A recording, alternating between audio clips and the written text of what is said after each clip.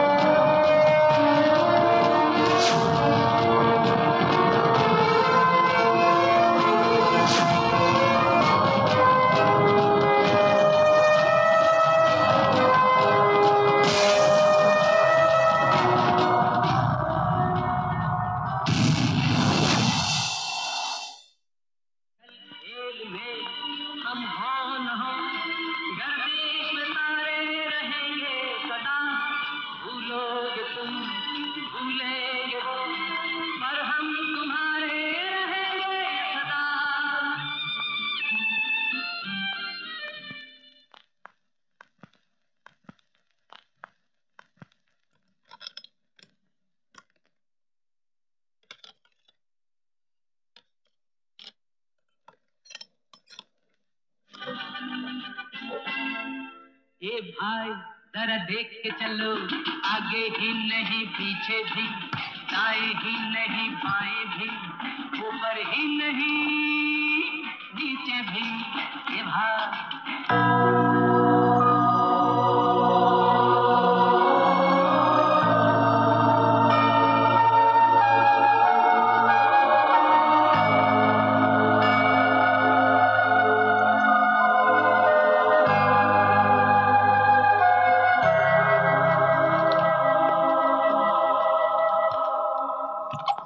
ఇదిగో మొహం అలా మార్చుకుని కూర్చోకు. చెప్పేది విను. సినిమాలని పార్టీలని నన్ను అడగొద్దు. నేను పంపించను. మీ నాన్న సంగతి నీకు తెలుసు కదా? అసలే కోపం ఎక్కువ. తెలిస్తే ముందే కాలేజీ మాన్పించేస్తాడు. అప్పుడు ఇంట్లో కూర్చుని ఎడుతూ ఇట్స్ ఓకే నా మాట వినమ్మా. ఈ పార్టీలు పిక్నిక్లు ఏం వద్దు. ఈ రోజుల్లో అబ్బాయిలు అసలే మంచివాళ్ళు కాదు. నువ్వు చూస్తేనేమో పొట్టి అమాయకురాలివి.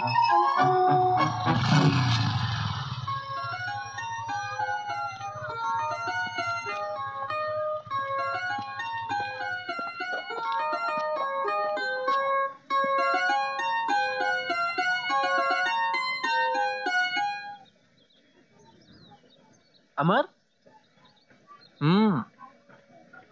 సాయంత్రం ఆరవుతుంది. ఇక్కడ చూస్తే నాలుగు రూపాయలే ఉన్నాయి. ఇవాళ నా మ్యూజిక్ ఎవరికి నచ్చలేదేమో. మరి రాత్రికి ఏం ఫోన్ చేస్తావు? బంద్ సరిపోతుందిలే. బన్. యాభై రూపాయలతో బిర్యానీ తిను. మ్మ్? God bless you Amar.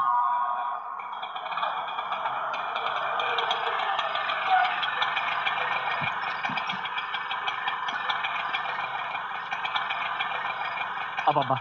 ట్రైన్కు late అయిపోతుంది. త్వరగా రానాగమని హ్మ్. ఏంటి? గొంతు పెరుగుతుంది? ఇదేమైనా పోలీస్ స్టేషన్ అనుకున్నావా? నువ్వేంట్రా? సామాన్ తీసుకెళ్ళి జీప్లో పెట్టు. నువ్వు పద. ఇంటి దగ్గర ఉండని కాపలా. గంటలో ఇల్లెవరు దోచుకుపోర్లే. కూలివాడికి ఎందుకు యాభై రూపాయలు దండగా? వచ్చి సామాన్లన్న మోయిని. నువ్వు పద. నువ్వు గేటేసెక్కు. అలాగే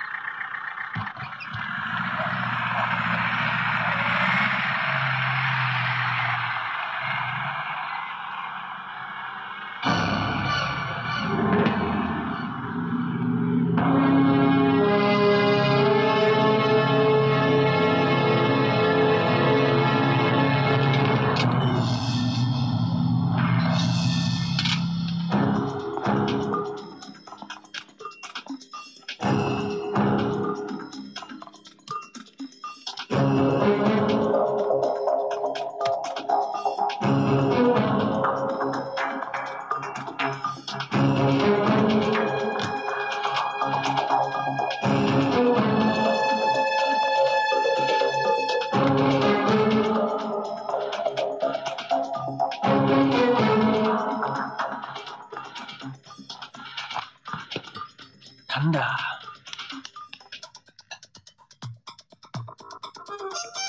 आह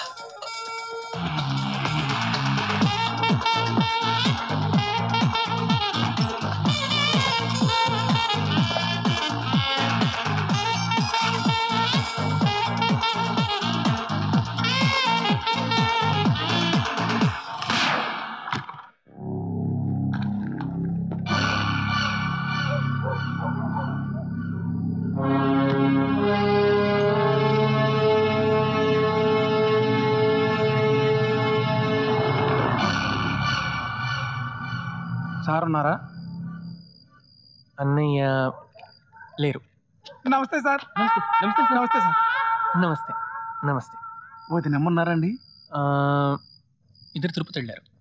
మొక్కు తెచ్చుకున్నారు. అందుకే సాయంకాలం లోపల డబ్బులు తెచ్చివ్వయ్యా అన్నాను. చూడు ఇప్పుడు ఏమైందో. చెప్పాను కదన్నా జర డబ్బులు అరేంజ్ చేసిన లేట్ అయిందని. ఇప్పుడు ఏం చేయాలి?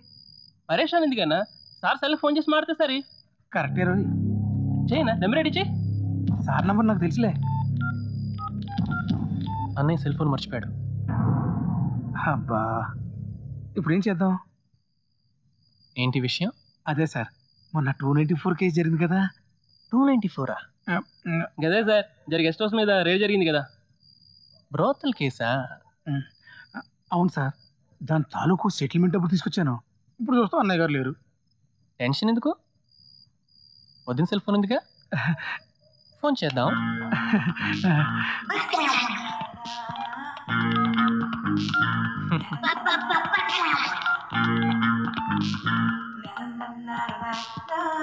హలో?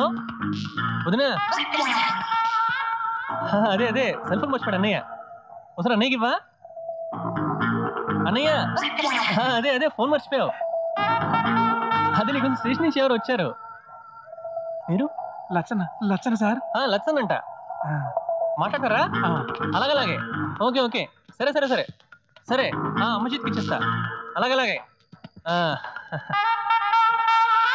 ప్లాట్ఫామ్ మీద హడావిడిగా ఉన్నారంట. మీకు మళ్ళీ ఫోన్ చేస్తాను. అలాగేనండి. డబ్బు అమ్మ చేతికి ఇచ్చేయమని చెప్పారు. లచ్చద. ఎంత? పదివేలు సార్. పదివేలు.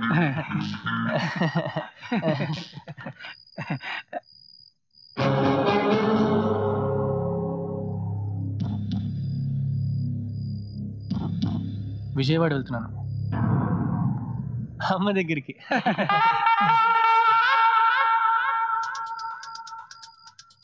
ఆటో మీదేనా? అవునండి. తీసుకోవచ్చా? బంగారం లాగా thank you thank you thank you మీరున్నాడు sir. ఏ లగేజ్ తీసుకో. అని తీసుకొస్తాను సార్. మీరు రండి రండి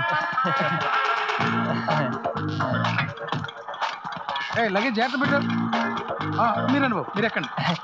ఏ స్పీడ్ బ్రేకర్లు ఉంటాయి. చూసుకొని వెళ్ళు. బాబు ఉంటా బాబు. అమ్మగారిని అడిగినట్టు చెప్పండి. మన గారి తమ్ముడు మంచి సమయస్ఫూర్తి ఉన్నవాడు ఆ, ఆ. ఆ.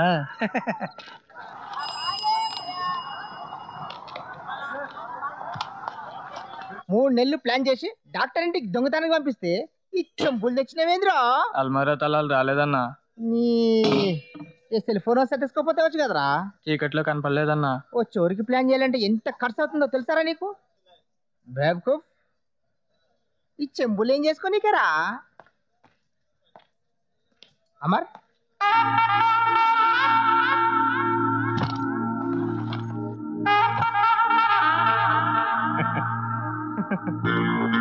చూసి నేర్చుకోరా దేడిది మాట